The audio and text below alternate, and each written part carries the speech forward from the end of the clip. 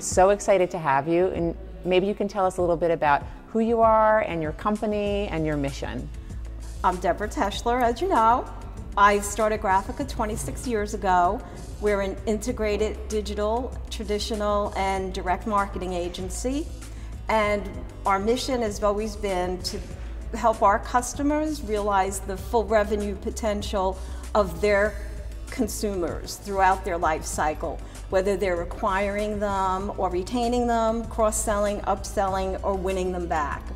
I think the future trend and the irony of it is when we began direct marketing 26 years ago, it was all based on database marketing. Mm -hmm. And what the internet did was to catapult database marketing eons ahead mm. because of the technology and the time it takes to process the information.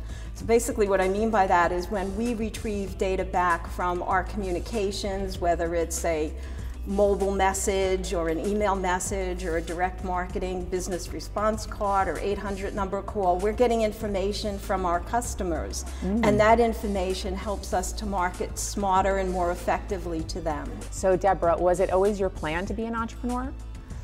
Um, it wasn't that I thought I would be a woman entrepreneur, but that leadership was instilled in me from a young age. And actually, I had worked with my previous employer who we didn't have the same philosophy and how our clients should be treated. Okay. And it was really that, that I went home one night and said, I'd rather flip hamburgers than do this. Okay. And I had the idea to start my own agency.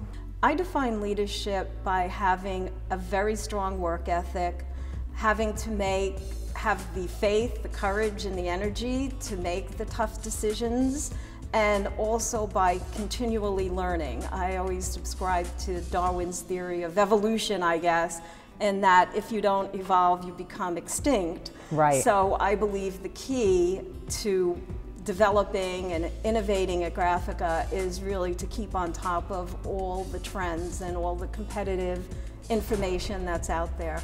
I think it's key that we teach our, whether they're our daughters or our sisters or our cousins or friends or family, any young woman that anything that they decide that they want to do, they can do it. It's in their purview if they're willing to work hard enough and have a strong faith in that if you do things right, you're going to succeed. Faith is really important that if you believe you're doing the right thing and making the right decisions and if you can put your head on that pillow at night and go to sleep, that that's the kind of courage you need for the road that's ahead. Hi, my name is Linda Wellbrock, and I am the founder of the Leading Women Entrepreneurs Initiative. Congratulations once again to the top 25 Leading Women Entrepreneurs. This initiative has been incredibly exciting and inspiring. The list of finalists are made up of 150 women. Their estimated combined revenue generation is over $1 billion.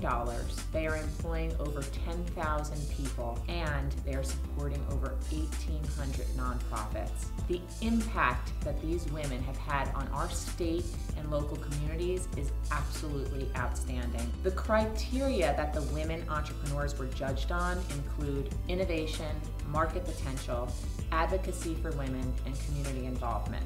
It is my mission to raise awareness for these outstanding leaders and present them as role models to future women entrepreneurs and to the future generation of young girls who are looking for options for their own careers. I believe if we work together and use the power of the media to present these women as icons and as role models, that we can make a cultural shift in today's society. We are opening the nomination process for 2013. If you know a leading women entrepreneur in your community, you can send the nominations to me at Linda at Leading Women Entrepreneurs or visit my website for further details. Again, I look forward to seeing you and meeting you in 2013.